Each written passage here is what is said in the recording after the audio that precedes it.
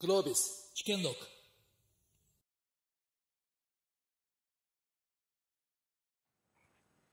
えそれでは皆様改めましてこんにちは。ありがとうございます。えー、ただいまご紹介いただきました国際環境経済研究所あるいは U3イノベーションズということところでですねエネルギーそして温暖化の問題を勉強しております竹内と申します。えー、こちらの、えー、コロナを機に加速するグリーンテクノロジーと日本の新たなエネルギー戦略こちらにご参照いただきましてありがとうございます。あの、コロナからの経済回復というのは、まあ、あの、グリーンとデジタルの掛け算、日本柱でやっていくと、こういうふうに、ま、言われております。で、まあ、コロナをきっかけにですね、あの、社会の持続可能性というのが改めて意識をされている、まあ、そういうタイミングかなと思います。で、あの、エネルギー転換は本当に必須、喫緊の課題と、まあ、ある意味コロナ前から言われていて、コロナによってある意味加速する部分もありますし、まあ、今までの方向性が変わるものではなく、むしろ追い風になっている、まあそういう部分もあるわけですけれども、さはさりながら、例えば高い目標を掲げるとかだけでこれは成し得るものではなくて、やはりそこにテクノロジー、産業がついてこないといけないと。えー、あのインフラの入れ替えには莫大なコストと長期の時間というのが必要とされるということもまたこれ現実でございます。まあ、こういったタイミングで必要とされるのは、まあ、明確なビジョンと、まあ、柔軟な戦略、まあ、具体的なある意味好事例の共有と横展開なのかなというふうに思っておりまして、今日のあのお三方にはそういった観点からあのご発言をいただければということで、私自身も大変楽しみにしております。で、今日はあの、3つ柱を立てさせていただいております。で、1つ目がですね、あの、我が国のエネルギー戦略のあり方。まあ、我が国のこの国全体としてのエネルギー戦略のあり方ですね。で、もう一つ、二つ目が、地域課題におけるエネルギー問題、インフラのあり方。まあ、日本のこの地方に行くとですね、まあ、今すでにネットワーク型のインフラの維持が厳しくなっているような地域も非常に多くなる。そういったところでどういった形で転換をしていくかというところ。まあ、これが2本目。そして3本目が、まあ、グリーンテクノロジーで日本の成長戦略につなげるにはということで、あの、これ各国、世界各国そうなんですけれども、このコロナからの復興をグリーンでと言いながら、やっぱりここグリーンだけが目的ではもちろんなくて、そこに自国、地域の経済成長、これをやはり目論んでいるというか、当然、目的にしているところがございます。じゃあ我が国の正気はどこにあるかというところ、ここをお話をしていきたいというふうに思います。で、えー、このセッションも、あの、一般と同じくですね、えー、最後の15分間は必ずあの、皆さんとの質疑応答にするということで、あの、大変時間がございませんので、もう早速、一つ目の柱に入っていきたいというふうに思います。で、あの、我が国の、まあ、エネルギー戦略のあり方という、まあ、非常に、まあ、大きなテーマから入っていきたいと思いますけれども、まあ、我が国のそのエネルギー戦略のあり方、今ちょうどエネルギー基本計画といった3年に一度程度政府が、えー、公表するエネルギーに関する基本的な計画の見直しに向けての作業も行われているところでございます。まあ、こういったタイミングも踏まえて、あの、まずこの問題、三宅様の方から、えー、ご発言をいただければと思いますけれども、いかがでしょうか？はい、えー、フロアの皆様、そしてオンラインで、えー、大変ご無沙汰をしている人もいらっしゃいまして、えー、どうぞよろしくお願いいたします。あの、我が国の、えー、まあ、エネルギーに関する戦略でございますけれども、まあ、基本前提としてですね、一時エネルギーの自給率がですね、えー、この10年で10%ぐらい下がっているということであります。東日本大震災の前はですね、20%強あったわけですけれども、もう今はもう10%をですね、少し上回っているぐらいでございまして、これは、あの、国家としてしてですね、まあ、危機的な状況にございます。まあ、言うまでもなく、理由はですね、原子力発電がですね、今確か9基しか動いていないと思います。まあそういった中でですね、国の経済を動かし、そして社会をですね、支えるためには、しっかりとした、まあ、えー、エネルギー戦略がなければならないということであります。まあ、その前提としては、まあ、4つございます。まあ、言うまでもなく、今一番大事なのは、あの、安全ですね。えー、原発あの事故がですね、もう一度あるようなことがあってはもういけないわけでございます。私、今でも覚えてますけれども、まあ、ちょうど10年前の今頃だったと思います。え、事故のですね、2週間立ったか立たない頃、え、堀洋翔さんと一緒に、えー、ワンボックスカーに乗ってですね、福島第一原発の近くまでですね、会社に内緒で、え、行ったことがございます。あの記憶はですね、決して下せることができません。ですから、これからも、言うまでもなく安全を第一にした上でですね、まあ、安定した供給、そして経済合理性があること、それに加えて、まあ、環境に配慮するというこの4つのですね、基本原則の中でですね、我が国のエネルギー戦略は当然立案されなければならないということになろうかと思います。言うまでもなく、昨年秋にですね、菅政権、2050年、まあ、カーボンニュートラルという方針をですね、打ち出したわけでございます。そして、え、米、新政権、バイデン政権も、ま、パリ、パリ協定に復帰をいたしまして、COP26 が今年の秋には開催予定であります。今日は私が一番ですね、え、この会議で申し上げたいことはですね、え、国際協調でですね、同じゴールに向かって同じ枠組みで世界が取り組むというのがこのエネルギーを獲得する、まあ、環境分野でございます。その、まあ、冒頭、竹内さんの方からございましたけれども、あの、環境という大きな枠、大きな枠の中でですね、えー、同じ、各国が競争するということはですね、まあ、同一の経済における、その、競争、経済のその競争、同じ環境の中で経済競争をすると、環境制約という枠の中でですね、同一の競争条件で経済競争をするということが、ま、はっきりしたわけでございます。言うまでもなく、その環境が経済ではなくてですね、えー、しっかりと環境対応することで経済成長をすると、そしてその経済成長のですね、戦略のが、よりこれから戦いがですね、激しくなるということがもう明確になったわけでございます。そして、もう一つ大事なことはですね、これからはですね、その環境分野がですね、ちょっと皆さん驚かれるかもしれませんけれども、え環境分野がですね、え激しくなる米中戦争のですね、回避の救いになるかもしれないと私は強く思っております。過去の歴史を振り返りますとですね、派遣する国と、そして台頭する国、え、多くの事例でですね、戦争につながっております。わずかにあの、米ソ、そして米ソの冷戦、そして20世紀初めのですね、英米の対決というのは派遣国と台頭国の間でですね、まあ、戦争を回避することができましたけれども、えー、もう毎日テレビ、えー、等を見ておりますとですね、米中の対立は本当にもう抜き差しならぬ事態になっていると言えないこともありません。そういった中でですね、対等する国と派遣国の間でですね、まあ、競争する、協調ですね、協調する分野が見つかった場合にはですね、それをまあ対話の窓口としてですね、戦争が回避されることがあるというふうに多くの指揮者が言っております。ですから、パリ協定、そして今年の秋の COP26 続いてですね、この環境分野、エネルギーを含んだその環境分野でですね、米中との間でですね、しっかりとした協調路線が取れればですね、私は安全保障の面から、面からですね、日本にとっても大変素晴らしいことだというふうに思っております。あと1点だけでございますけれども、その環境分野、これからどんどん技術開発競争が進みますけれども、我が国のですね、まあ、エネルギー関連の様々な技術をですね、国際貢献をという形でですね、東南アジア、そしてアフリカ各国にですね、それぞれの地域の実情と財政事情に合わせた形でですね、日本流の政府開発援助等でですね、環境技術を使ってえ国際貢献とともにですね、我が国のえー、国家としてのプレゼンスをですね、しっかりと高めるという分野でもあろうかと思っております。以上であります。はい。ありがとうございます。あの、まあ、原子力の稼働をどうするのか、あるいはその、まあ、共通のゴールを掲げたことで、米中の協調がむしろ図られる可能性があるのではないかというようなことをご指摘いただきました。それでは安倍知事、いかがでしょうか？はい。あの、まあ、エネルギー戦略のあり方という非常にあの、大きなテーマです。で、あの、まあ、長野県として、まあ、このエネルギーの問題というのは、やはりあの、気候変動の問題を、まあ、入り口に、まあ、取り組みを進めています。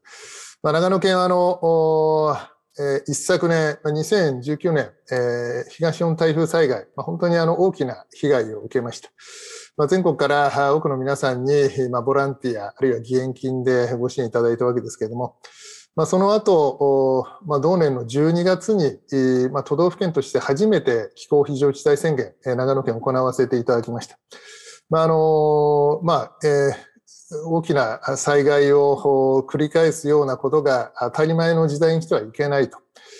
えー、まあ、そういう思いで、あります。で、まあ、このエネルギー問題、あるいはその、えー、まあ、気候変動の問題については、まあ、実は台東の台風災害前からもかなり取り組んできておりますが、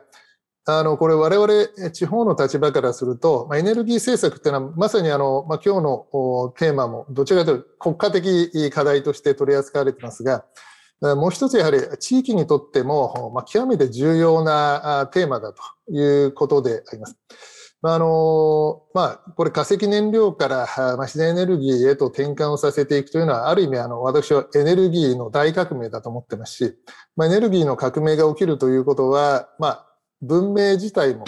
あり方が変わっていく、まあ、そういうあの大きな視点で、このエネルギーのあり方というのを捉えていく必要があるというふうに思っています。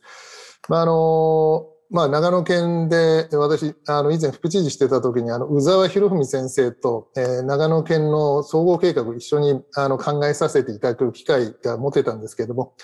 まあ、あの、えー、まあ、宇沢先生おっしゃってる、まあ、社会的共通資本。えー、まさに、あの、このエネルギーというのは、あの、人々の生存に不可欠なあものであります。まあ、そういう意味で、あの、まあ、社会的共通資本の、まあ、代表的なものだというふうに考えますけれども、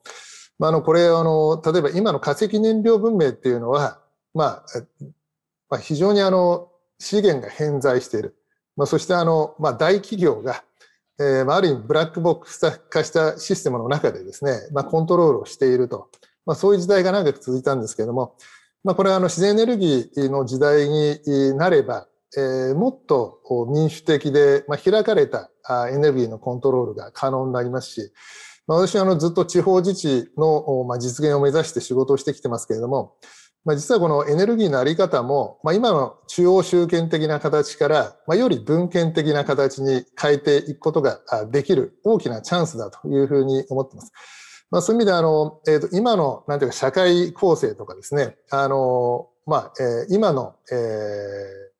まあ、資本主義、まあ、随分あの、えいろんな部分で、えまあ、限界に来てというふうに言われてますけれども、まあ、今のあの、まあ、社会経済の構造を前提にして、このエネルギー戦略考えるんではなくて、あの、まあ、まあ、私の立場から言えば、まあ、例えば地方分権とか、あの、あるいはもっと民主的な市民参加の社会を作るとか、まあ、そういう大きな文脈の中で、このエネルギー政策、エネルギー戦略を考えていくということが大変重要だというふうに思っています。まあ、そういう意味であの、まあ、これ政府には、まあ、ぜひそうした明確な理念のもとでエネルギー基本計画を作ってですね、まあ、単にあのエネルギーの構成を変えるということだけではなくて、まあ、大きな社会変革につなげていくという覚悟でまあ取り組んでいただきたいと思いますし、まあ、我々も国と連携して、まあ、しっかり取り組んでいきたいと考えています。はい。ありがとうございます。本当にあの、本質的なご指摘をいただきました。あの、エネルギー業界の中ではごめんなさい長野県って割とあの本当に先進的な取り組みをしておられるところとしてあの有名な場所なので私ちゃんと紹介してあのの長野県のというふうに言わなければいけなかったのにあのすぐにお話をあの伺ってしまって大変申し訳なかったんですけれどもあの具体的なお話あの事例等はあの2つ目の柱のところでぜひお話をいただければと思いますが、まあ、あのこれから本当にあの大きな社会変革であると。確かにおっしゃる通りでエネルギーだけ変えても意味はないと言ったら言い過ぎなんですけれどもエネルギーだけ変えることがきっと目的ではないし手段としてもあのエネルギーだけを目的化してはいけないんだろうという非常に本質的なご提言をいただきました。さてお待たせしました。あの株式会社レノバであの再エネ事業に本当に取り組んでこ、えー、られている君並様の方からですねあのエネルギー戦略全般に対するまあご意見と、まあ、再エネの現場におられてまあえー、課題抱えている課題、まあ、あのそこら辺、まあ、あの2つ目3つ目でもおっしゃっていただきますけれども、まあ、全体感含めてちょっとご発言をいただければと思います。うん、はいえー、レノバの木南と申します。あの私の方はあの再生可能エネルギーを普及しているまあ事業者なもんですから、その観点からあの感じている課題をお話をしたいと思います。あのちょうどまあ震災から10年ということで、やはりあの震災がエネルギー政策を少しあの転換点だったということはまあ間違いないと思うんですけれども、その後ですね、この10年どうだったかということ、ここの課題認識といいますか、この共有からあのさせていただきたいんですが、あの欧州だとかとの比較をすると実はその再生可能エネルギー日本は、まあ、当時10%ぐらいだったのがこの10年でまあ20%近くにはなったという意味では発展をしたとあの言えると思います。まあ、ただですねじゃあ欧州がどうかっていうと例えばイギリスは今40%まで行ってしまった当時は実は日本とあまり変わらない水準だったですね。でドイツも今40%を超えてきたそういう意味で言うとやはり足元で震災があった国として大胆に行きたかったけれどもそこまでやりきれてない実情があるという気がしてます。でどれぐらいの差があるんですかっていうのを私もよく聞かれるので、えー、どんなものかなと思うんですが大体5年から10年ぐらいあの欧州の国に今ビハインドしているというのがあの現場で感じているあの認識です。過去何回もですねデンマークあのイギリスドイツいろいろ行ってまいりましたけれどもやはりもうちょっと進んできて別な課題にあの突撃しているのが欧州で日本はまだ20%ぐらいからどこへ行こうとしているのかっていうのが現状だったというところですね。で、えっと、課題はいろいろあるんですけれどもあの大きく見て私はあの4つ課題があったとあの思ってます。あの一つはやはりあの、えっと、目標とかのビジョンですね。どこへ向かうかということについて、えー、総論は賛成ですけれども、えー、格論としていろんな課題はなかなかその個別に解決しきれてないというところが多分あったというふうに思ってます。ただここはこの秋に2050年カーボンニュートラルっていう宣言が、え、菅政権から出てで個別の経済産業大臣、え、それから環境大臣規制改革大臣いろんな大臣が、まあ、一枚岩になって進んできたという意味では、え、これは解決しつつあるんではないのかなというあの気がしています。で2つ目はですねやはり技術イノベーションの観点です。ここ今日はあのグリーンテクノロジーなのでこれについてのあのご関心の多い方が多いのかなと思いますけれどもこれはですね、実はあの、今のところ大きな差が、えー、この10年で、えー、もしかしたら開いてしまったのかもしれないというぐらい思っています。あの、マーケットが足場にやはり、ああの、明確になかったっていうところもあるんですけれども、これは相当頑張らなくちゃいけない。新しい目標が出たので、これにキャッチアップをするこれから10年をどう過ごすか、え大変重要な岐路に立っていると、こんなふうに思っています。それから3つ目はの資金でございまして、あの竹内さんからも冒頭あったように、えー、エネルギーの転換をするには膨大なあの資金があの必要でございます。例えばその年末に梶山大臣から出た、えー、洋上風力を伸ばそうという話ですね。最大45ギガワットという導入を2040年に向けてやるという話で、これはもう画期的な内容なんですが、これを実行しようとすると、大体20兆円から30兆円ぐらいお金がいりそうだということですね。やこれは途方もないあの中身ではあります。ただですね、あの今、いわゆる ESG の流れというのは非常にクリアになってまして、例えばの例で恐縮ですけど、当社のような独立資本のベンチャー、たかだか200人の会社でもですね、過去8年間で再生可能エネルギーの開発投資を約4000億円あの実行できました。これは我々の力ではなくて、おそらく明らかに ESG マネーの後押しだと思っています。今後ますます強まるなということを感じると、ここは多分楽観的でいいのかなというふうに思ってます。で4つ目の課題は、えっと、人材でございまして我々が今何に一番苦労しているかというとこの業界が新しい業界なので、えー、担い手が少ないっていうことですね。えー、実は4年前単純に70人だったです当社は。で3倍にはなってるんですがそれでもたかだか200人ですね。これからその雇用の吸収源になるほど大きくなるにはまだまだ必要です。でやっぱりマーケットが少し未成熟なところがあるので再エネの専門家っていうのはやっぱり世の中にあんまりいなくてこれをあのいろんな業界から集めて作っていく必要があるこのボトルネックを日々感じているというところではあります。まあ、ただですねじゃああの欧州が10年前全てが揃ってたかというとそうではなくてやっぱりあのそれぞれあの官も民もですねそれから産もそれから学もあのだんだんだんだんとレベルを上げてきたというふうにやっぱり思ってますのでえー、今こそあの国家的宣言がありましたので、えー、伸ばしていけるのではないかなとまずはこんな現状認識からお伝えしたいと思います。はいありがとうございます。もう早速、あの、非常に充実したあのコメントを皆さんからいただきました。あの、我が国のエネルギー戦略、まさに見直しの時ではございます。で、えー、ただ私自身、あの、長いこと、あの、国際的なああいう COP なんとかみたいな会議に行っているとですね、あの、環境を一緒に良くしようという、綺麗な言葉のに続いてなんかこうテーブルの下では足を切り合っている様子とかを見てたものであの三宅先生が冒頭おっしゃったその環境分野を共通のゴールとすることで争いが回避される可能性があるというコメントも非常にあの響きましたし、あの、続いて知事がおっしゃってくださったその社会のあり方、あの、こういうところを示しながら政府は進めてもらいたい。そこに地方として地域として、えー、事例を提供していきたいという言葉。そして、木南さんから、あの、欧州と日本の現状。まあね、あの、現場でやっていると本当にこう、なんて言うんでしょう。あの、焦りもあるでしょうし、こうなったらなという思いもあるでしょうし、まあ、さわさりながら、あの、移行期間ということで非常に長い期間を現実的に考えていく必要がある。まあそういった中でどういうこう長期的なビジョンを持ってこうみんなで共有して進んでいけばいいかというところで本当に一つ目の柱からあの具体的なところをいただきました。えー、早速ですけれども2つ目の柱に入っていきたいと思います。2つ目の柱はですね、やっぱり地域課題におけるエネルギーの問題と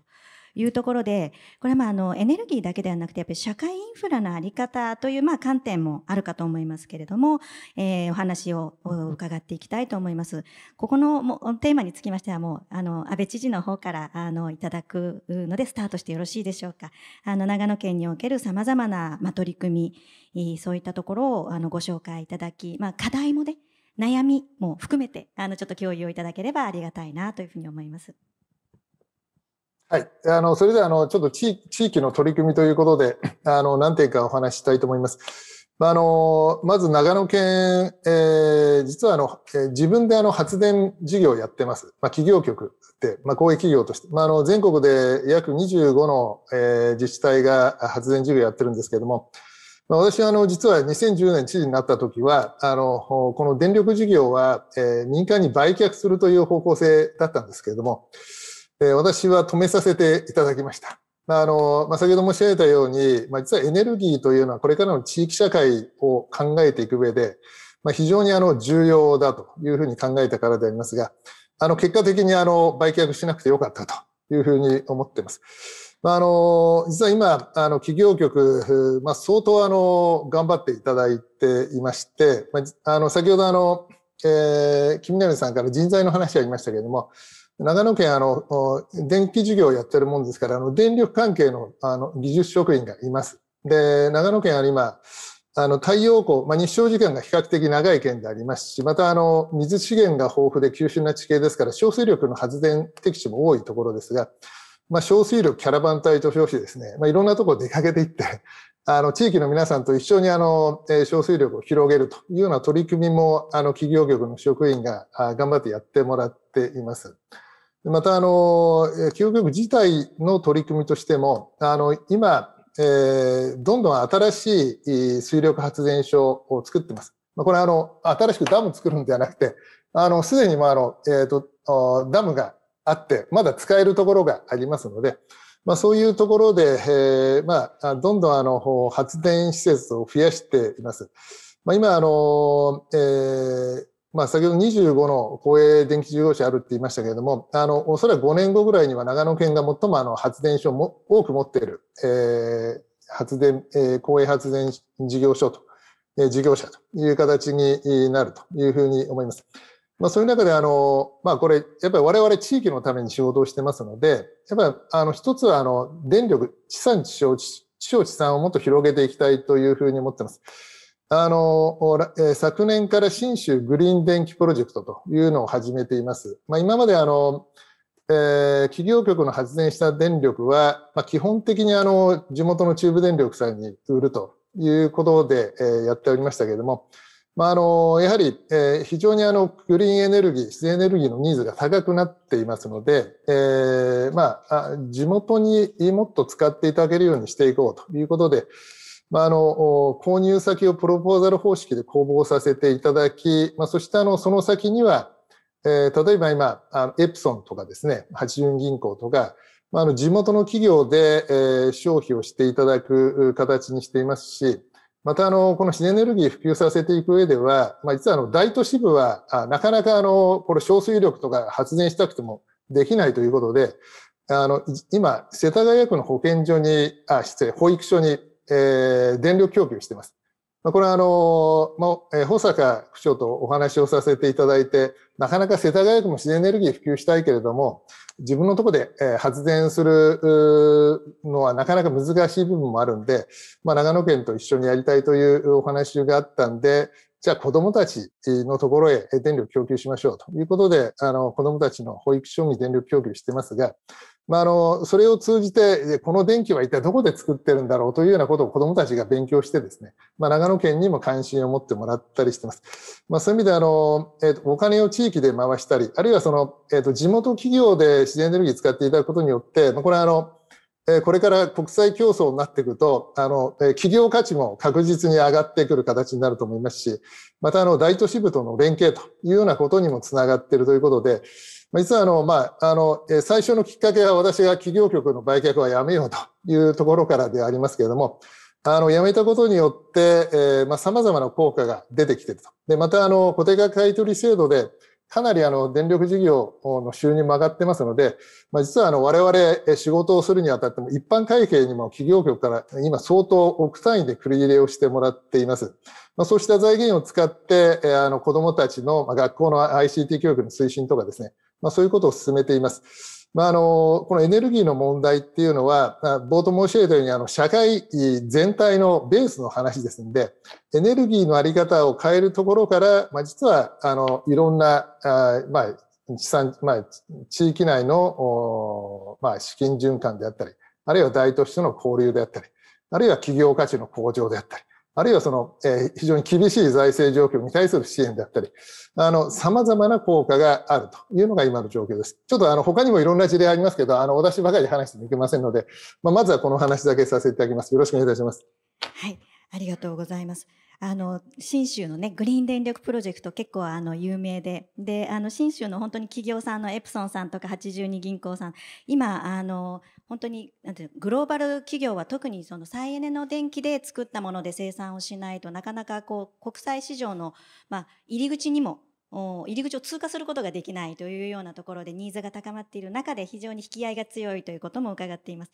でまああの固定価格買取制度で儲かっているというのはあの電気代を 払う方からするとですね、まあ、こういったところで生き金になっているんだなというところがあの感じられると嬉しいところかなというふうには思います。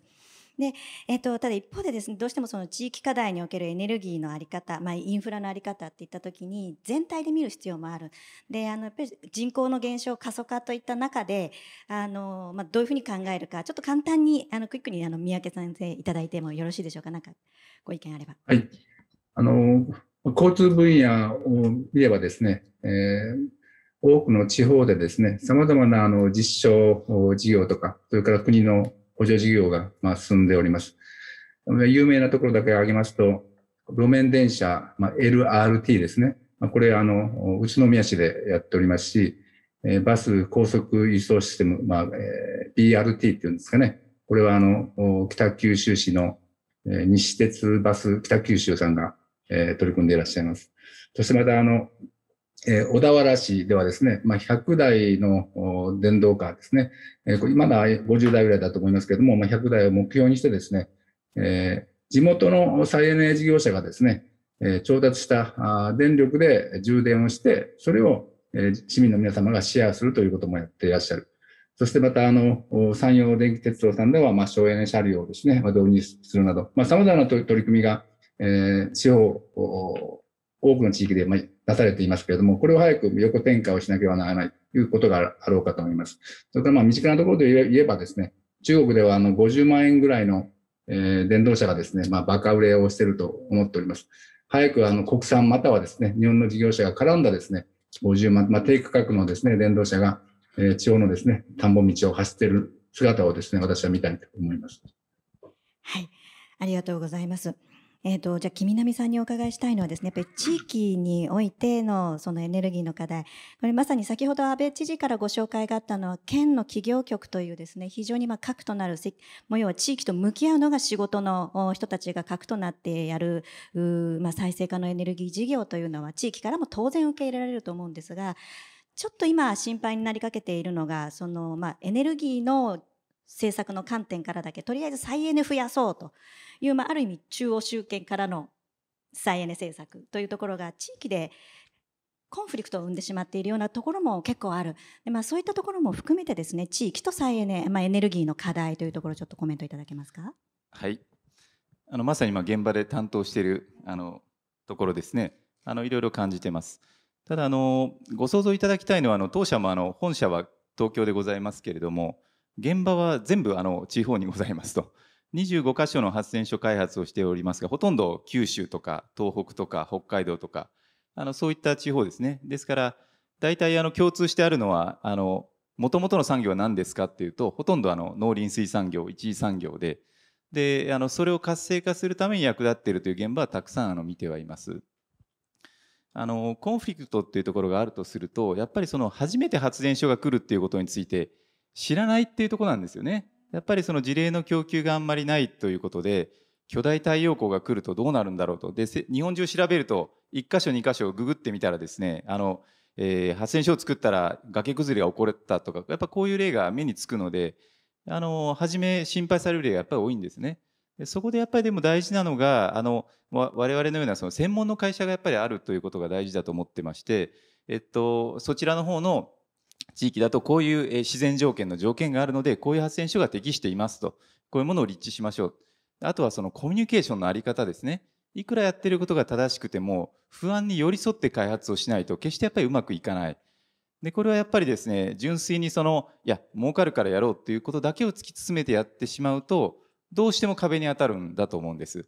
で、再生可能エネルギーの事業者はものすごい実は数末端はあるんですね。ただやっぱりその、まだまだその、えー、成熟した状況には少し足らないところがやっぱりある。ただこれを放っておくと、あの逆に再生可能エネルギー事業者が再生可能エネルギー業界の発展を 妨げるっていう、こういう矛盾になってしまうので、これはあの非常に注意が必要なところだと思ってます。成熟した事業者の発展が今望まれているというところですね。ただあの、やっぱりでも申し上げたいのは、しかし再生可能エネルギーは地方創生に直結しているということだと思います。あの農林水産業と申し上げたんですが、農業と非常に密接に結びついているのがやっぱりソーラーですね。ソーラーシェアリングのシステムだとか、もともと日照の良い平らな場所なので、後輩農地が置いてある。それを使えば農家さんが、あの、後継ぎがいないとか収入がないっていう時に、二つの収入を得ることができる。こういう、なんて言うんでしょうかね。なかなか一次産業ってアップダウンがあると思うんですよ。これを吸収することができるわけで、セーフティーネットみたいになるんですよね。こういう事例を私はたくさんあの見ております。それからその林の方で言うと、これは林業者さんの建材を売るという仕事なんですけども、一方で使ってない廃材ですね。山に捨ててる廃材を使えば、バイオマス発電の燃料供給ができる。これも二つ目のインカムを手に入れることによって、経営が安定するんですね。三つ目の漁業は、今私どもが秋田でやっておりますけども、洋上風力発電と非常にあの密接に結びついてまして、洋上風力発電をすると、海に風車を建てるので、漁業者さんともちろんコンフリクトがあるんですけれども、よくよく対話をしてみると、その基礎の部分が魚礁になって魚がより集まる。こういった効果が注目されていたりしまして、対話をしていけば受け入れてもらえるということがやっぱりあります。ですから、その、それぞれがその地域にプラスになるんだということをよく認識をした上で、しっかりとこの対話をやって開発をしていく。これが成功すれば、あの、地方のあの発展にマイナスではなくて、大きなプラスを埋める、あのそういう起爆剤になると思っています。はい。ありがとうございます。本当にそうで、あの、あれですよね。ただ、君南さんのね、ように、こう、本当に地域にどう貢献するか、地域にどうこう雇用を生むかというようなこの視点から事業をやってくださる方をどんどん増やしていかないといけなくて、まあ、あの本当にエネルギー政策からだけね、あの再エネを増やそうっていう議論だけしてしまうと、あのそういう方が逆に輝かないと言ったら変なんですけれども、玉石混交の市場になってしまうっていうようなことをちょっとあの私は心配して、えー、いたので、あの今あえてちょっとこう君並さんにちょっとご発言をいただきました。あのぜひまあそういうこう地域でのその成功事例といいますかね。あのそういったところ対話をちゃんとやるというような事業者さんを増やしていくというところが、えー、まあ、震災後10年経った我が国のその再エネ政策に求められているところなのかなというふうに思います。でそれでは3本目のやっと柱に入りますけれどもここから、えー、グリーンテクノロジーで、まあ、日本全体のその成長戦略最後に今おっしゃっていただいた君波さんのご発言もそこにつながるところがあろうかと思います。あの今回のセッション全体テーマはですねグリーンテクノロジーということでちょっと広くてですね、まあ、あの水素とか、まあ、そういったところへの期待もあってあの私も委員拝命しております。あの政府のイノベーション戦略会議の出した計画なんかでも、まあ、水素とかあのそういった新しい技術のあの議論もされてはいるんですけれども、まあ、ちょっとここではあの再生可能エネルギーがメインになるかなというふうにはあの思います。が、えー、まあこういったところで先ほど君波さんからもねあの欧州と比べて体感的になんとなく5年10年遅れてるんじゃないかというお話がありました。まあ、さはさりながら挽回の機会がないわけでは決してないですし、まあ、日本のようにある意味丁寧にやってきたからこそ徐々にいけるその欧州はガーッとやって、まあ、問題にぶつかったら変えるっていうことをやるんですよね。でまあ我々は多分慎重にそういうこう先行ってこけてる人を見ながらこうちょっとやるというところがあると思っていて挽回のチャンスがないわけでは決してないというふうに思っています。ここの課題についてその日本がこのグリーン成長でグリーンテクノロジーで勝機を見出すとしたら何が必要かというところじゃあちょっと君波さんから言ってみましょうはい、これあの本当にあの難しい あのお題だと思ってます。というのはちょっとさっき申し上げたようにやはりそのここからなんですね。私はあの今日本はこのグリーンテクノロジーを足場に置けるか置けないかのあの岐路に立っているというふうに実はあの現場から思ってます。というのはその、えー、欧州例えばその風車メーカーを例に取らせていただきますけれども風車メーカーはですね欧州を中心にこの10年ものすごく発達したんですね。それは向こうでやはりそのどんどんどんどん需要があるからですね。あの洋上風力発電というのは今世界的に注目されているマーケットですけれども北海にですねもう4 5千本立ってる。でこれはほとんど欧州が自分で作って自分で植えてきたということですね。で彼らはとうとうそれをアメリカへ輸出をしたりアジアへ輸出しようっていうのをもう準備を10年間かけてしてきたみたいな状態にあるんですね。で今それを日本がいや日本もやりますよと洋上風力を先ほど申し上げたように大きく伸ばすという目標がついこの前出ました。ようやく出たと思ってるんですがここから追いかけようとすると先行している巨人と戦わなくちゃいけないっていうこういうあの状況ですね。であのこの風車製造みたいな世界もですねあの AI だとかデジタル IoT ってこういう波が押し寄せてましてたくさんたくさん実績を持ってる人はものすごいデータを保有してるんです。ですからですね後から追いかけようとしてもその1万本もう立てた人に追いつこうと思うとものすごいスピードでやらないとですねもう先行してる人は1万本のデータを持ってましてこっちが1000本立てた頃にはまた向こうはもっと増やしてるわけなんですよね。でこのなかなか難しさっていうのはあるなと思ってますと。ただですねあのじゃあ何もできないかというそういうことはないと思ってます。やっぱり大きなビジョンと目標が足元にあるそれからやっぱり、えっと、市場ができて我々のような事業者が、えー、きちんとした発注を入れていくとメーカーは目が向いてきます。実際にあの世界で一番大きな風車メーカーはデンマークにあるベスタスという会社なんですけれどもそこの CEO は秋に日本に来て日本のマーケットをわざわざ見に来ました。これやはり大きなビジョンをぶち上げたから来たんですね。で、なんと我々の会社と面談をしてます。で、我々が申し上げるのは、いや、日本はこれからものすごい伸びますよと。絶対押さえておいた方がいいと。だから工場を作るなりサプライチェーンを日本に組み込んだ方がいいです。こういうことを働きかけてます。で、これをみんなでやることだと思いますね。これはもう民間事業者何社ではやっぱりダメで、やっぱりそれこそ官の力もお借りしたいし、ビジョンの力もお借りしたいし、なんならですね、インフラ提供、これも大事だと思ってます。例えばそのいくら洋上風車を建てようと思っても立派な港がないと巨大な風車をアセンブルってこう組み立てるんですけどそういうことができないんですね。でこういったことにあの現政権はすごい着目していただいてあの着手をしていただいて実はあの洋上風力の拠点港の整備っていうのは今目の前でもうどんどん進んでるんですね。でも欧州はもうさらにすごいものに 今乗りかかろうとしててなかなかこれは大変だなというふうにあの感じているところではあります。まあ、ただ、要するに申し上げたいのは、えっと、民間だけじゃなくて、官と一体的になること、高い目標が必要であること、それから欧州のメーカーの世界競争から目をそらすんではなくて、巻き込んでいくこと、こういったことが大事かなというふうに思っています。ありりがとうございます。1点だけ追加でお伺いしたいんですけど、今そのベスタスさんの例が出てね、ベスあのベスタスさんに日本市場に貼っといた方がいい。確かにそうなんですけど、そこに日本のメーカーが辛いこと聞いてごめんなさい。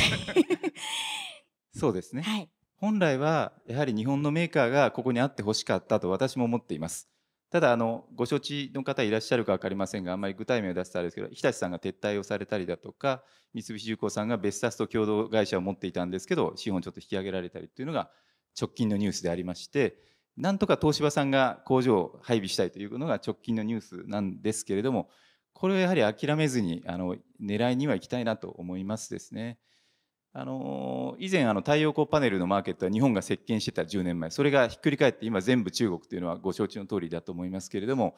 えー、風力は本当に今あの岐路というか相当ビハインドだけど厳しい状況。あともう一個だけ申し上げると地熱タービン有名な通りこれはやはりかなり日本は強いです。それからバイオマス発電のボイラーですね。世界一の CFE ボイラーというあの、えー、循環流動所ボイラーってあるんですけどこれのパテントおよび、えー、技術は住友重工さんが持ってるんでこれ実は日本会社が持ってるんですね。あのそういったところも注目していきたいなと思います。ありがとうございます。あの全体討議まであと3分ほどしかないので、ちょっと1分半ずつぐらいで、あの安倍知事とあの宮家さんにいただきたいんですけれど、安倍知事にはそのグリーンテクノロジーを地方創生にどう生かすかっていうようなところで、あのぜひいただければと思うんですけれども。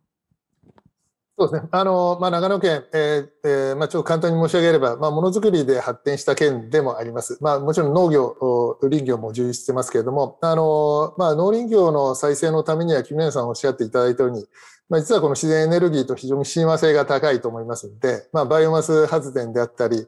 あるいは小水力発電、まあ、そうしたもので、まあ、地域にお金が還元するようにしていきたいと思っています。それから、あの、実は新しい来年度予算の中で、えー、我々としては 新しく基金を作ってですね、あの、このゼロカーボンに資するような企業の研究開発を支援していこうと。まあ、ゼロカーボン基金ということで、まあ、設置をして、えー、企業の取り組みを応援していきます。まあ、あの、他方であの、まあ、例えば、あの、長野県自動車関連産業多いんですけれども、そのガソリンエンジン車がなくなっていくことによって、あの、影響を受ける企業もあるんで、そういうところへの支援ということも、まあ、我々合わせてやっていかなきゃいけないと思っています。ただ最後一点だけ、あの、えっ、ー、と、長野県、えー、今、グリーンボンドの発行も行わせていただいています。えー、先日、あの、小泉環境大臣から ESG ファイナンスアワードジャパンの環境大臣賞というのを長野県いただいてますけれども、あの、まあ、グリーンボンド発行をさせていただいたり、えー、あるいは、あの、ESG 投資、えー、県としてもさせていただいたりさせてしてますんで、まあ、あの、この資金面でもですね、あの、我々、地方公共団体の果たす役割も、まあ、これから大きくなるというふうに思っています。以上です。はい、ありがとうございます。最後、あの、三宅先生にお伺いしたいのは、このグリーンテクノロジーを日本の正気にするといった点であの日本技術で頑張ろう技術で世界に貢献しようといった時にですね必ず技術開発の方を頑張るんですよね。太陽光もそうでした。であのただ世界シェアのトップを取って日本のメーカーが持っていたのはほんの一瞬で、えー、中国台湾メーカーにキャッチアップをされていた。その失敗をこう繰り返さないようにしようといって、まあ、グリーン成長戦略政府掲げたわけですけれどもこの肝は何だというふうにお考えでしょうか？えー、いろいろありますけれども、今日やっぱりどうしても申し上げたいのはですね、えー、2050カーボンニュートラニュートラルのあの宣言によってですね、えー、環境は経済成長のエンジンだというふうに多くの方が本当に思ったわけです。ですから企業の方はですね、ぜひ、えー、内部留保ある方はですね、しっかりと使い切って、成長分野をですね、使用を取っていただきたいと思います。でもう一つ、あの、今月内にですね、グリーンイノベーション基金2兆円が生まれます。これはあの運用益をですね、回すわけではなくて、10年間でですね、2兆円使い切ってもいいという、まあ、情勢でございます。洋上風力、水素、自動車、バッテリー、半導体、食料、農業、住宅、リサイクル、ライフスタイル等ですね、14分野についてですね、えー、継続的なですね、野心的な事業に対して10年間で2兆円を補助するということでございますので、えー、電池、え、開発、それからまあ、メタハイドレートとかですね、様々な分野でですね、この2兆円を民間企業の皆様にはぜひ、うまく使っていただいてですね、えー、レノバさんには1兆円企業を目指していただいてですね、えー、本当にあの、ここ今正念場だと思います。えー、環境は成長のエンジンの時代に入ったと。そういう思いでですね、この2兆円をぜひうまく皆さんに活用していただいて、今一度ですね、素晴らしい、この日本のですね、経済力をですね、世界に示したいというふうに思っております。はい。ありがとうございます。まだまだお伺いしたいところではあるんですけれども、もうご質問をいただいて、全体討議というようなところに入っていきたいと思います。これは会場のでご質問ある方を先に優先してということですね。はい、梅沢さん。はい、えー、梅沢です。ありがとうございます。えっと、まあ、再生可能エネをあの飛躍的に増やして、で、まあ、そのグリーンテックを経済成長につなげようっていうのはもう私も大賛成です。で、えっと、まあ、冒頭で三宅さんがおっしゃったんですけど、まあ、一方でその国のエネルギー政策っていうことで言うと、まあ、1S プラス 3E ですかね。で、えっと、これやっぱりバランス取っておかなきゃいけないという話を三宅さんされました。まあ、正直に申し上げて今、すごくそのバランスが崩れていて、で、その結果として今年の頭に、まあ、電力危機を迎えたりもしているという現実が一方であります。特に三宅さんと竹内さんにお伺いしたいんですけど、ここはどういうふうにそのバランスを取りながら、このグリーンテックのアクセルを踏んでいったらいいんでしょうか？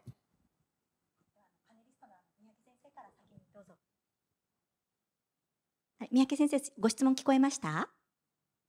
聞こえました。はい、じゃあ、あの、どうぞ。え、もう言うまでもなくですね、一番大事なのは安全です。安全をベースにした上でですね、えー、安定した供給と、そして経済合理性と環境配慮ということでございます。まあ、安全性を無視してですね、え、社会の存立はやっぱりないわけでございますから、え、安全ベースの上に3つのバランスを取っていくということしか、抽象的には言えないと私は思います。追加であの私もエネルギーの研究者としてお答ええさせていただくとそうですねやっぱりあの今までその福島の事故によって明らかになった原子力を使うことによるリスクっていうのはもう国民全員、まあ、世界中が認識をしたと。ただやっぱりあの梅沢さんご指摘の通り使わないことによるリスクもあるということ。であの将来像が掲げられたのはあのいいことなんですけれどもじゃあ移行期間というような先ほど言葉私先ほども使ったんですけれどもやっぱり少なくとも30年40年という時間が、えー、再エネを主体としていくにはかかるしその期間をやっぱりエネルギーという、まあ、ある意味究極の生活材経済経済、えー、生産材これを安定的にできるだけ安価に賄っていくというところもこれも一つの、まあ、ある意味 ESG の観点からも必要なことだというようなところでやっぱりエネルギーというのはライフライン生命線なんだという議論をもう一度ここでここは政治に頑張っていただくところかなというふうにあのこの議論を喚起していくということをお願いしたいなというふうに思います。以上でございます。他にご質問あのある方はい朝比奈さんよろしくお願いいたします。どうも大変あの勉強になるお話いろいろありがとうございました。あの私もあのかつてあの経産省にいたこともあって今の経産省の小新聞の人とかたまに議論いろいろしたりしてるんですけどやっぱりあのもう舵切らざるを得ないんだけれどもやはり日本にちゃんとお金が落ちるのかというとこが非常に鍵だと思います。であの今の議論にも出ましたけど大きく分けるとお金の落とし方的にはやっぱりそのメーカーとかそのどういうものものづくりの方の話が一つとあともう一つやっぱりそのオペレーションの方の話があると思います。であのメーカーの方の話はだいぶ今していただいたんでオペレーションの方なんですけど、まあ、これをちゃんとあの外資じゃなくて、まあ、日本にオペレーションでお金が落ちるっていう形にするためには、まあ、地域電力の話それとあと既存の大手電力さんの話そと特にあのレノバさんみたいに全国展開をされながらのですねあのあのオペレーションの話、まあ、いろいろあると思うんですけどこの辺ちょっといろいろまあぶつかったり大変なとこもあると思うんですよね。で長野県企業局さんとか本当に大変成功されてる一種のシュタットベルケだと思うんですけどこの辺りについてちょっとコメントいただけると大変ありがたいです。ありがとう。これ答えるのは私かい？じゃ入り口私はい、はい、お願いします、はい、あのえっとお答えします君南です。あのおっしゃる通りでしてあのえっと、よく雇用の議論になると再生可能エネルギーをせっかく伸ばすんだったら製造業入れようってこれはあのよくある議論ですと。でそれは一粒で二つおいしいことを狙ってるとそうなるんですね。でこれを狙いたいのは事実なんですがあの、えっと、あんまり語られてないのがあの再エネ発電所が増えるとどうなるかということでそのまさにオペレーションのところはこれ全部あの日本人でできますしかつ実はさっき申し上げたように地方でできるんですね。あの岩手県にある我々の太陽光発電所もですね工事でも地元の方をフル活用しましたしその後運転メンテナンス、えー、まあなんか木が生えたら伐採するとかそういうことも含めて全部地元でできているので実はそこで経済は回っておりましてこの効果はしっかり着目すべきだと思ってます。なので少なくとも日本に製造工場がないにしても得るものっていうのはちゃんとあるということはお伝えしたいと思ってますね。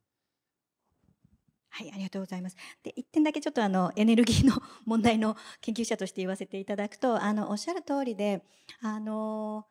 今までこうなんだろう再生可能エネルギーとか地域でのエネルギー利用っていった時にあの旧来型の従来型の大手電力とか大手エネルギー会社ってなんかこう邪魔な邪魔をしてくる打ち滅ぼすべき敵みたいな感じの イメージが強かったと思うんですけど私はそうではなくてやっぱり主役と再生可能エネルギーが主役になっていくためにはやっぱりその、まあ、グリッド全体をオペレートする旧電力の力を借りなければいけませんしあの当然そこはあの敵対関係ではなくて当然融合していく話なんだろうというふうに思っています。でもうすでにそういう動きもあのかなり出てきていますしあの長野県でもあの中部電力さんと非常にいいコラボレーションされてているとあの新州グリーンパワーなんかもその一つの例だというふうに思っておりますので、まあ、そういったところに、まあ、第2フェーズに今入りつつあるのかなというふうに思っております。あのあ他にコメント追加でいただくところございますか？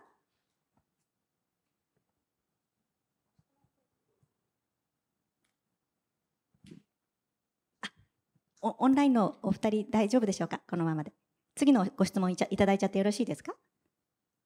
ちょっとじゃあひと一言だけ あのまあ、先ほど冒頭申し上げたエネルギー転換で、その、なんていうか、えー、まあ、どこかが独占してしまうとかですね、あるいはまあ、我々地域の立場からすると、その地域の資源が収奪される対象になってしまうということは、これ避けなければいけないと思ってます。んで、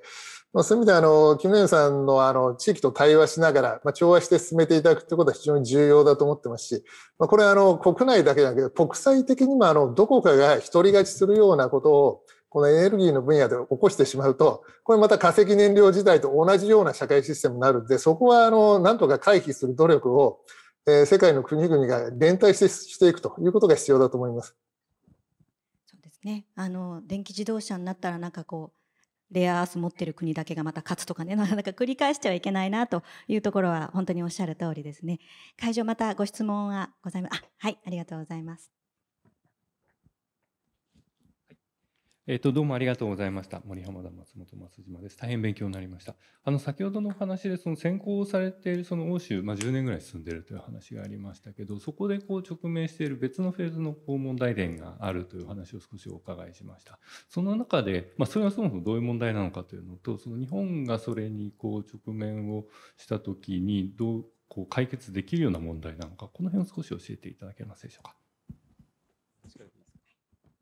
あのご質問ありがとうございます。あの欧州は先ほど申し上げたように大体の国が40%ぐらいまで再エネを導入しました。しかも風力がメインです。太陽光がサブ、バイオマスがサブとなってます。で、すごく風力って変動しますので、それをあのもろに影響を受け始めているんですね。で、あのネットワークでつなげて各国をつなげて分散して耐えているというのが1個あるんですけども、もう一つやはり明確に舵を切り始めているのがバッテリーと水素をどんどん導入をしていくこと特に車を電化させてそこに再エネチャージをさせてこの波を乗り越えるっていうふうに明確に動き始めてますよね。これがあの、えっと、欧州の EV 化の裏側ですよね。再エネを伸ばしたいので、えー、そのバッテリーをたくさん民間投資を促したいということだと思ってます。だからこれはセットですね。それが欧州の戦略。だから日本はそれを取るか取らないか、今議論をしているところで、私はあの取れるんじゃないかなというふうには思ってるんですけれども、えー、ちょうど議論が始まっているというような認識です。で、あのー、欧州の場合は、じゃあ40%の次どこ行くかっていうことで、2030年目標ですね、やっぱり60%とか50%にもう起き始めてますね。だから、あの、えー、明確に裏側を、えー、バッテリーを入れる水素を入れるっていうふうになってるっていうことで。日本もですからいずれもし40%の再エネとかになってくると必然そういうバッファーをどこへ作るかっていう議論が必要なので今から議論を始めておく必要があると思っています。はい。あの欧州の EV 政策は、まあ、直接的な、ね、きっかけはあのディーゼルの汚職とかそういったところもあったとは思いますけれども、まあ、おっしゃる通りエネルギー政策の観点から言うとそういう部分がただ日本はどうしてもですねあのこれ言うと言い訳だとか言われるんですけれども小さく閉じた島国でしかもそれが北海道本州の南と北とバラバラなわけですね。でそこの中でこうやっぱりこの変動をなんとかバランスするというところのこう難しさというのはやっぱりどうしても直面をするというところになります。最後ワンクエスチョン。はい。はい。お願いします。あ、あ、あの、金属加工をしている会社のものです。あの浦上と申します。あの今のまあ重油から炭酸ガスあの排出減らそうということであの LNG に変えた。まあこれは所詮あの化石燃料なわけなんでこのままじゃいけないとは思ってるんですけれども、まあ、今後はその熱源水素で電気は再生での電気っていったあの状態で日本であの燃料を調達した場合果たして国内でものづくりが続くのかどうかっていうあの一つ質問あの疑念ともう一つその我々のようなあのものづくりしているメーカーに対してカーボンニュートラルに向けてどういったことを求められているのかっていうことも聞かせてもらいたいと思います。これ三宅先生にお願いしてもよろしいですか？最後はあの私も締めますけれど、三宅先生よろしいですか？やっぱり環境意識が、まあ、消費者もそれから、えー、もう部品加工されているのであればお客様のまあ、納入先ですか？あ高まっておりますので、えー、企業活動に伴ってどのようなですね、えーまあ、環境環境インパクトを出しているのかですね、そこをしっかり、えー、認識して、将来に向けた経営戦略を練ることが私は大事だと思います。多分これからはあの人権問題も出てきましてですね、まあ、今後、まあ、国名言わない方がいいかもしれませんけれども、まあ、電池の一部素材についてはですね、あそこから調達するなとかですね、まあ、そういう、えー、議論も高まってくると思います。特に EU を中心にですね、その環境配慮の、まあ、えー、素材の調達についても、厳しい制約がこれからよりかかってくるような気もいたしております。これが徐々に日本にも来るような気がします。ありがとうございます。あのただあれですよねあの製造業の現場としてねあの非常にご心配あの私も経済界の方とお話をしているともう例えば鉄鋼の方とかねもう日本から出ていけということが自分たちが抱えている雇用とか経済効果っていうところに対してその、まあ、もちろん移行していこうとは思うけれどもただかかるコストをみんなでどう分担するかあるいはその移行の痛みをどう分かち合うかといったらあれですけども覚悟を決めるかというところにも議論してほしいといいことばっかりじゃないんだっていうところをちゃんと議論してほしいというそのニーズというのは非常に高いのかなと。で三宅先生すごくそこら辺あのエネルギー政策も現実的にお考えなあの方ですのであの今あの答えをお願いしたところですけれどもおっしゃった通りですね、まあ、消費者あるいはその消費者の裏にいるその B2C のあのメーカーさん等が、まあ、ある意味そういうこう転換に関するコストをちゃんとその価格に転嫁するということをまあ認めていくということの制度が整えば、まあ、もう少し安心していただけるのかもしれない、まあ、そこら辺が多分明日のセッションでも議論になると思うんですけれどものカーボンプライシングとかあそういったところにつながっていくのかなというふうに思います。えー、ところであと1分06秒というようなところのすごい微妙なあの秒数が残っておりまして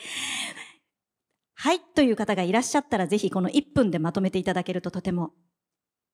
せっかくだから使い尽くしたい。君並さんいかがですか？あの安倍知事からいただいた方がいいんじゃないかと思いますよろしいですか？じゃあ安倍さ安倍安倍知事いかがですか？はい、あのまあ、最後のご質問にも関連しますけれども、やはりあのまあ、これ、田口さんおっしゃっていただいたように、あのえー、エネルギー転換させるっていうのは、まあ、プラスの面ばかりじゃないと思ってます。まあ、実はあのうちの県も例えば、えー、住宅用太陽光の共同購入制度県でやろうとしてますが、まあ、これはあの電気屋さんたちが非常にあの反対をされてます。まあ、これやっぱりあのエネルギー転換とかやっていくときにはやっぱりあの負の側面も我々しっかり行政としては見ながらあのまさに君並さんたちが地域でされてるようにやっぱ多くの皆さんとまあ、え、コミュニケーションをしっかり取りながら、まあ、コンセンサスを得ながら変えていくということも必要だと思っています。ただ、待ったなしでやっていかなきゃいけないんで、まあ、スピード感は持ちながら進めるということが、まあ、このエネルギー戦略、今重要な局面だというふうに思っています。ありがとうございました。完璧でございます。あの、時間ぴったりに終えていただきました。えー、それでは、あの、今回の、あの、このグリーンテクノロジーで、えー、コロナをきっかけにしたグリーンテクノロジーでのとセッションを、こちらで終わらせていただきます。あの、登壇いただいた3名の方にぜひ拍手をお願いいたします。ありがとうございました。ありがとうございました。